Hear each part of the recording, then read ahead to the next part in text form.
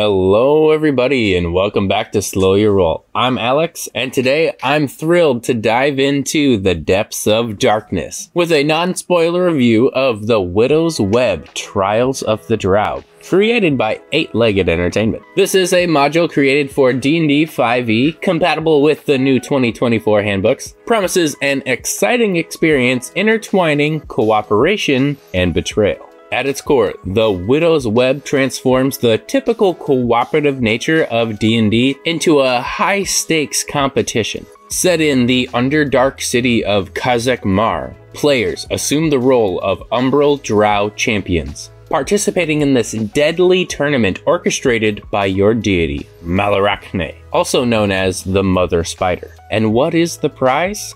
Well, that's control of the entire city, Kazek Mar, for a century.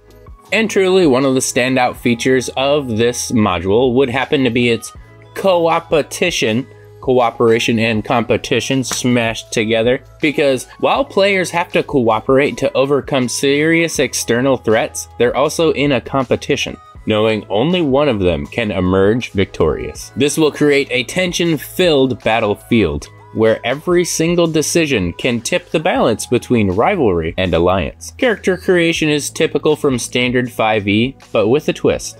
Everybody plays as Umbral Drow with an evil alignment to kind of represent the city and the houses competing for this honor. But the reason why you play as an Umbral Drow is for Malarachne's blessing. And if you really wanted to play as a different race, I'm sure you could probably talk your DM into tacking that onto somebody else's racial description everyone is going to start at level 8, so it's not the typical level 1, 3, or maybe even 5 start that you see every time. You're gonna start as a pretty competent dude, you're gonna know what you got going on. Multiclassing is totally allowed, but make sure your characters avoid things that rely on summoning companions like rangers or warlocks, because familiars and companions are not allowed. We need to focus on individual strength of the character in this competition. The player will also begin with minimal gear. You've got the clothes on your back and a weapon at hand. And there's also a couple of house rules that you probably need to consider, and at the very least, make sure everyone knows about before we start playing The Widow's Web.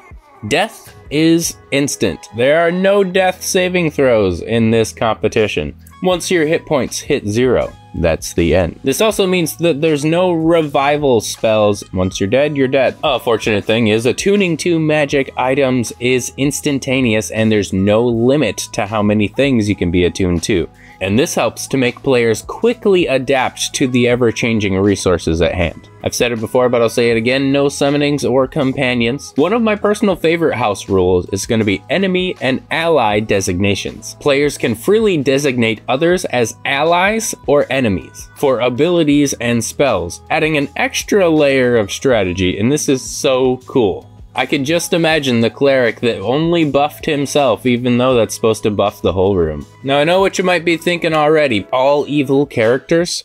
PvP? This is a recipe for disaster.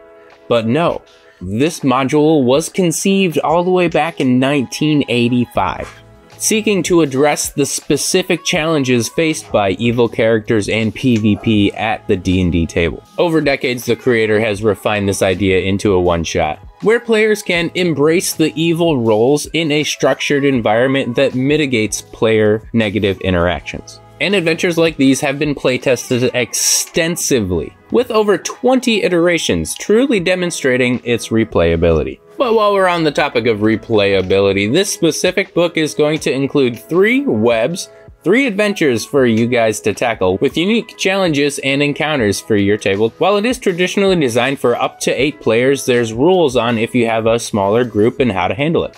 And since these are all in the one-shot format, it's pretty much ideal for the table that's not really looking to have a year-long stretching campaign. And most of the time when you're looking for a book, that's what they're trying to sell you. And if this is something you want to take to your table, the Kickstarter comes out today, so make sure to grab it yourself.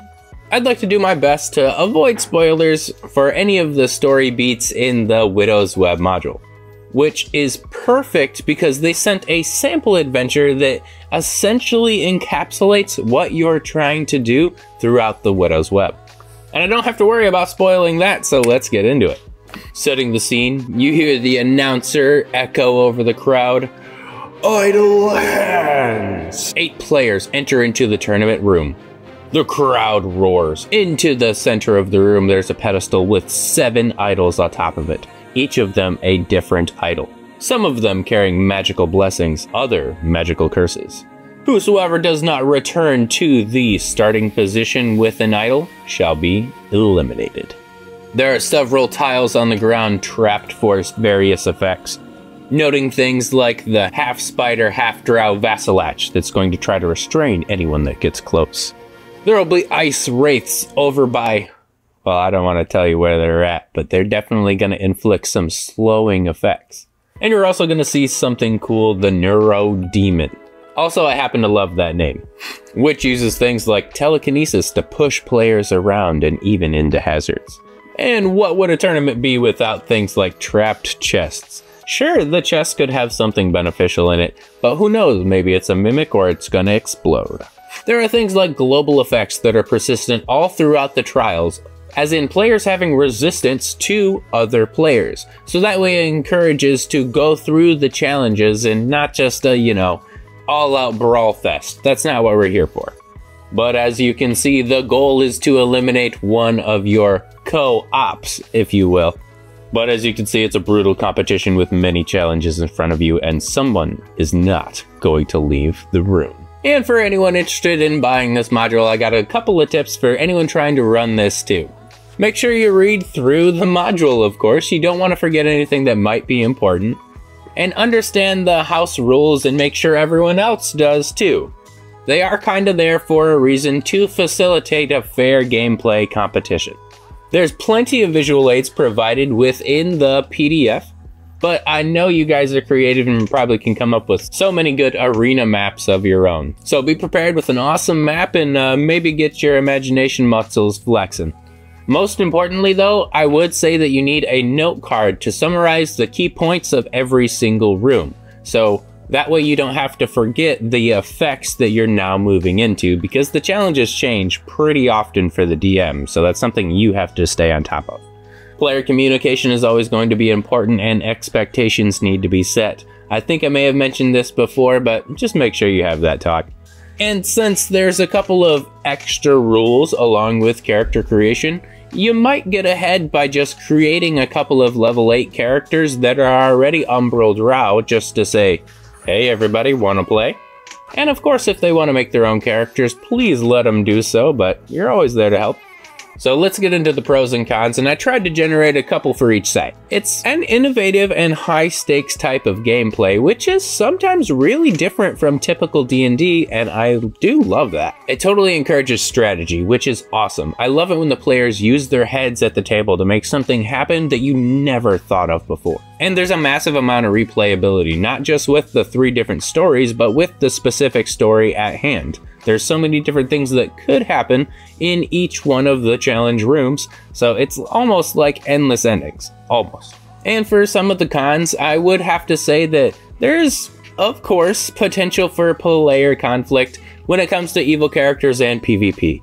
That's kind of the nature of it, and mitigating it was their goal, but you as the DM might have to just jump in and be referee every now and then. Now I know D&D can be complicated enough, but we are adding just a few more rules onto the bunch. So if that doesn't sound like your cup of tea, that's one of the cons in my list because I definitely need a sticky note to keep some of the extra rules down. And I guess the last con that I could come up with is there's limited amounts of roleplay but I would really only say that that's for social interactions. There's so many different kinds of roleplay opportunities that you can have in combat as well. And I think you'll find that you'll be able to stretch those creative muscles while you're playing this. And what are my final thoughts on The Widow's Web Trial of the Drow created by Eight Legged Entertainment? I actually think it's pretty fun. Reading through this thing, I would give it like 8, 9 out of 10. It's really good artwork it seeks to do something different, and I really do think it accomplishes that goal. As long as you have people around the table that are trying to accomplish a fun game, then you're going to have fun as well. Hopefully I provided enough examples of the artwork while I was talking, but the artwork was amazing in the package of the Widow's Web that was sent my way with most of the examples that I've shown for you today, there's so many more in the PDF, which is going to be over 250 pages. And for me, this happened to come up at the perfect time. We've been doing the spooky cryptids and we've been doing the gauntlet videos, and this is almost perfect for smashing them both together. They also have the Kickstarter coming out today, so link in the description to check that out. And until next time, everybody, we'll see you all later.